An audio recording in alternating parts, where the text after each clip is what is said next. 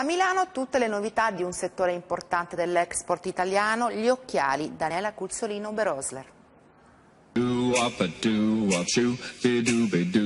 Angoli accattivanti e colori luminosi rappresentano la donna moderna che esibisce il proprio carisma. Come la bella Gigi Hadid sul podio delle testimonial, si lanciano messaggi attraverso un paio di occhiali e la mostra dell'Eyewear al Mido ospita i più importanti designer al mondo che vengono a produrre in Italia.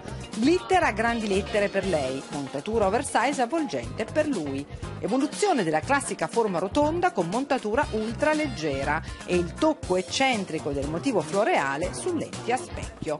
Ispirazione anni 90, occhiali da sole in metallo rettangolare o maschere con stampe iconiche dai volumi ingigantiti. Un settore che vive dell'export, il 90% della produzione, 3 miliardi e 700 milioni di euro.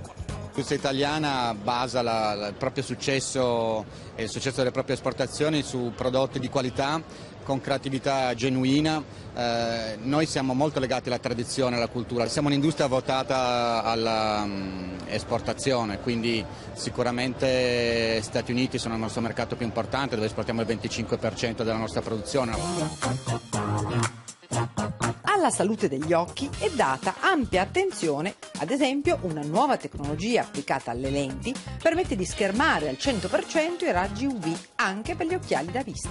Questo gel sensibile eh, è come fosse il nostro occhio, quindi reagisce alle radiazioni UV. Se noi immettiamo una lente senza protezione UV, il gel si colora, cioè significa che le radiazioni UV passano completamente. Se invece la lente lente protegge completamente dalle radiazioni UV, il gel rimane chiaro, vuol dire che l'occhio è protetto dalle radiazioni.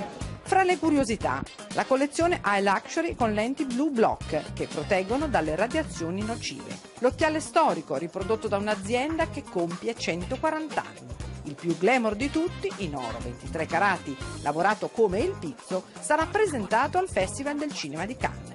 Per dire Made in Italy c'è anche chi abbina occhiali ad un piatto di pasto alla pizza, ma questa è un'altra storia.